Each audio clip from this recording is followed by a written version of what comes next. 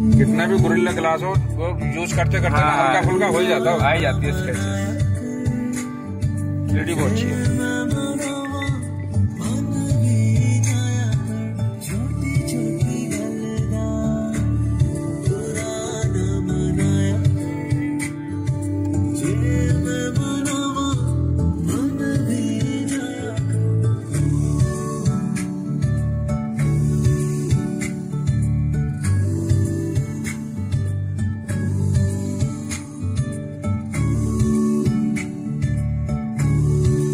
आवाज़ में बहुत फ़र्क पड़ गया। आवाज़ में भी है ना?